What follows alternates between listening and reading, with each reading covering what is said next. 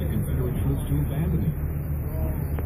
With the return of United States troops to work began to repair the during Fort A small percentage of the fort was ready to work work original. From 1876 to 1897, Okay, here we are in uh, Charleston Harbor, primarily served as a. Charleston, South Carolina. The outbreak of the Spanish-American War in 1898 This is uh, Fort Sumter. The Army constructed batteries. Voice in the background is part of the tour. As part of the overall upgrade of U.S. coastal defense. Used through World War I and World War II, this reinforced concrete battery still dominates the force interior. By the end of World War II, technological advances made static seacoast defense systems obsolete.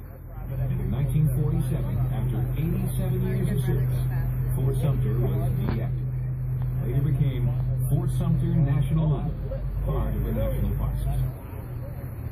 On behalf of the National Park Service, welcome to Fort Sumter.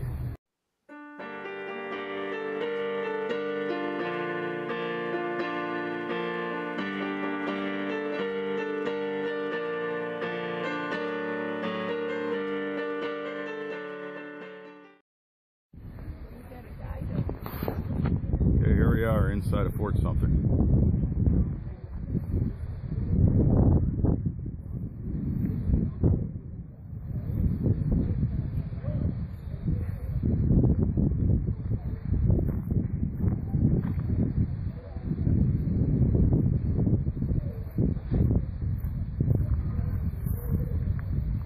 That's the entrance where we just came in.